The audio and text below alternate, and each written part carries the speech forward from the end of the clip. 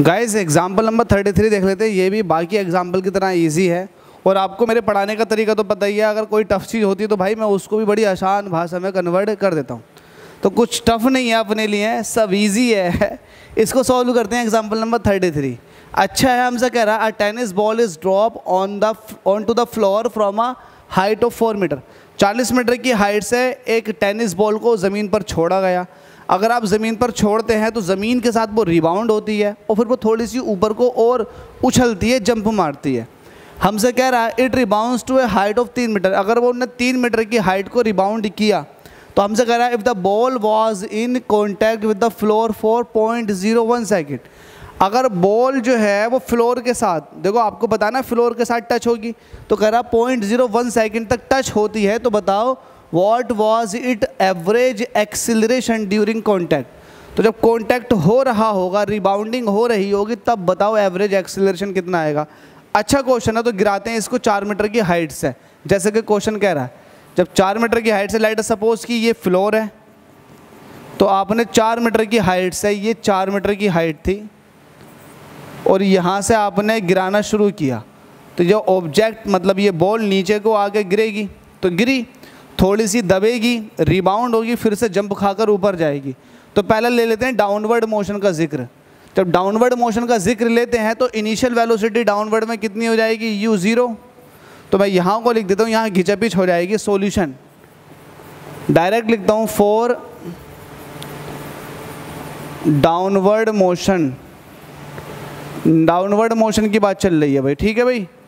आपके पास initial velocity given that में लिख दो। इनिशियल वेलोसिटी कितनी दे रखी? है ज़ीरो मीटर पर सेकेंड आपको हाइट पता है? यस आप उसको एच कह दोगे। कितनी दे रखी है आपको? चार मीटर की हाइट दे रखी है। जब ऊपर से नीचे को गिर रही है तो जी आपका प्लस का होगा। जिसकी वैल्यू आपके पास 9.8 मीटर पर सेकेंड स्क्वायर होती है। ठीक है? ये आपके पास आ चुका है। ठीक है भाई? इतना सिंपल सा केस है। जब ये नीचे को आ रही होगी मतलब यहाँ पहुँचेगी। ठीक है? देखो, जब यहाँ पहुँचेगी तो जब कॉन्टैक्ट हो रहा होगा, तब फाइनल वेलोसिटी ज़ीरो हो जाएगी। तो इस केस में जो फाइनल वेलोसिटी होगी, वो कितनी हो जाएगी? ज़ीरो हो जाएगी। लगाओ। बाय यूजिंग बाय यूजिंग आपसे पूछ क्या रहा है? आपसे पूछ रहा है what was its average acceleration तो एवरेज एक्सिलेशन निकालने के लिए आपको क्या करना होगा? वेलोसिटी में चेंज देखना होगा। तो आप जब यहाँ से गिरा रहे हो तो आप यहाँ तो देखोगे फाइनल वेलोसिटी है कितनी इसकी? तो फाइनल वेलोसिटी निकालने के लिए सॉरी यहाँ पर फाइनल वेलोसिटी टकराने से पहले मैं ये बोल रहा था कि यहाँ फाइनल वेलोसिटी ज़ीरो हो जाएगी, नहीं। इनिशियल वेलोसिटी ज़ीरो है जस्ट जब टकरा रही होगी बॉडी जब रिबाउंडिंग हो रही होगी बॉडी तो उसके पास उसकी मैक्सिमम वेलोसिटी होगी जो ऊपर से उसने गेन की होगी। तो हम उस फाइनल वेलोसिटी को निकालेंगे। यहाँ पर इसको ज़ीरो नहीं लेंगे बिल्कुल भी। मुझे अब पता लगा कि यार मुझे एक्सिलरेशन निकालना तो भाई इस चीज़ को ध्यान रखना चाहिए था। स्लाइड बिल्कुल सिली मिस्टेक भी नहीं होनी चाहिए। तो हम क्या करेंगे? By using third equation of motion third equation of motion क्या बताती है आपसे? वो ये कहती है कि v square minus u square ये टू ए डिस्टेंस एस के बराबर होता। फाइनल वेलोसिटी ये भाई ये मुझे निकालनी है। इनिशियल वेलोसिटी कितनी थी? ये ज़ीरो थी। ज़ीरो का स्क्वायर करोगे ज़ीरो हो जाएगा। टू ऐसे रहेगा। ए जो है वो जी का काम कर रहा है नाइन पॉइंट एट और एस जो है वो डिस्टेंस है जिस, जिसकी वैल्यू चार मीटर है। यहाँ पर एस की जगह अगर मैं एच लिखूँगा तो ज़्यादा प्रॉपर रहेगा क्योंकि मैंने एच ही इसको ले रखा। आपके पास कितनी है? चार मीटर। तो यहाँ से वी जो निकल कर आ जाएगा ये आ जाएगा square root two into nine point eight into four ठीक है भाई, ये आपके पास आ चुकी है वेलोसिटी ये वो वेलोसिटी है, जब ऑब्जेक्ट जस्ट टकरा रहा होगा, जिस वेलोसिटी ज़मीन पर टकरा रहा होगा, ये वो वाली वेलोसिटी है। अब रिबाउंडिंग हो गई।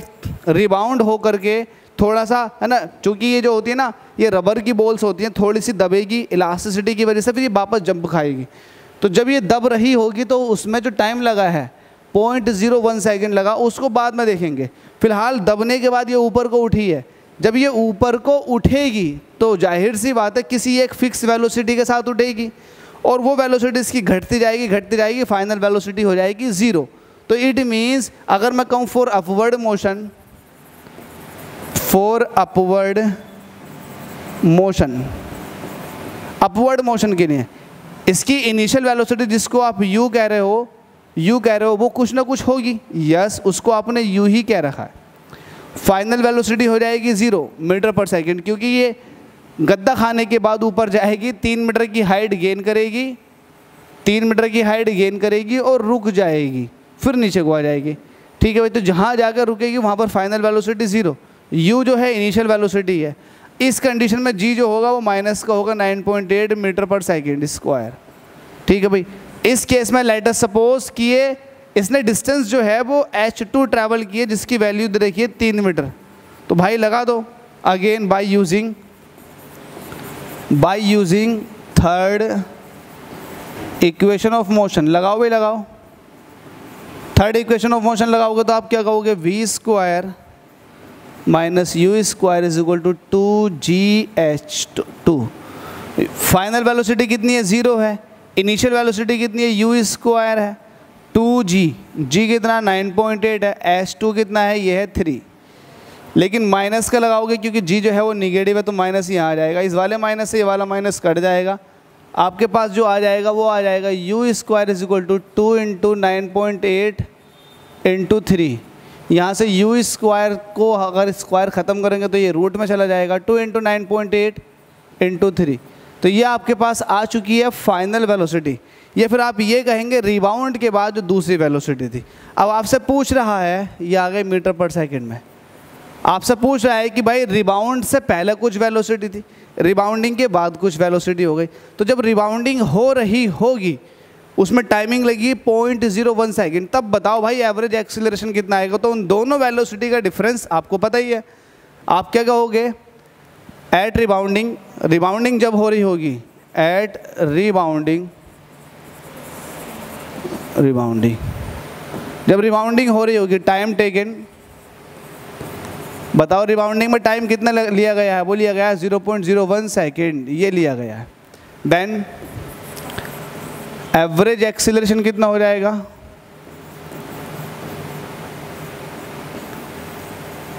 एवरेज एक्सीलरेशन होता है change in velocity change in velocity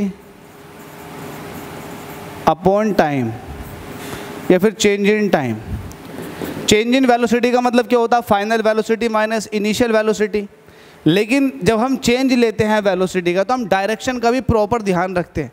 जो पहली वाली वेलोसिटी थी, वो नीचे की तरफ़ को थी, लेकिन जो दूसरी वाली है, वो ऊपर की तरफ़ को है। तो फाइनल अगर आप ऊपर को ले रहे हो तो भाई इनिशियल नीचे को जा रही है तो उसको निगेटिव साइन के साथ ऊपर ले लोगे। तो आप कहोगे फाइनल वेलोसिटी कितनी थी आपके पास? Root two into nine point eight into three minus initial velocity but initial velocity की डायरेक्शन थी नीचे को। लेकिन अगर उसको आप माइनस का ले लोगे तो वो भी अपवर्ड डायरेक्शन में आ जाएगी। तो निगेटिव साइन के साथ उसको भी दिखा दो। क्योंकि आप जब भी चेंज निकालते हो भाई सेम डायरेक्शन में निकालते हो वेलोसिटी में, तभी आपका एक्सेलरेशन आता है। ठीक है भाई? आई होप आपने ये वाली बात मेरी समझ ली होगी।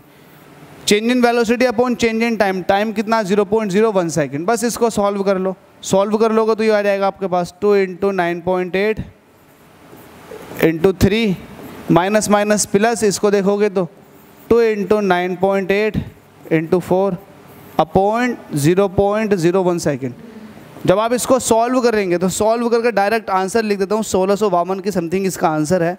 इसका है सोलह सौ बावन मीटर पर सेकेंड सोलह मीटर पर सेकेंड स्क्वायर। ये है आपके पास एवरेज एवरेज एक्सिलरेशन। बस इसको आपको सॉल्व कर लेना। कॉन्सेप्ट पूरा का पूरा डिस्कस कर चुका हूँ मैं आपसे। उसको आपको समझना था अच्छे से, वो आप समझ चुके हैं। बस आपके पास अब ये कैलकुलेशन बचती है। सिंपल सी बात थी, ऊपर से गिरी तो उसके पास फाइनल वेलोसिटी कुछ होगी रिबाउंड हुई बॉडी टाइम लगा पॉइंट ज़ीरो वन सेकेंड फिर वो ऊपर को आई, तब वो किसी एक फिक्स वेलोसिटी के साथ ऊपर को उठेगी चेंज इन वेलोसिटी देख लो, आपके पास एक्सिलरेशन यहाँ से निकल जाएगा रिबाउंडिंग हुई है ना बॉडी के पास।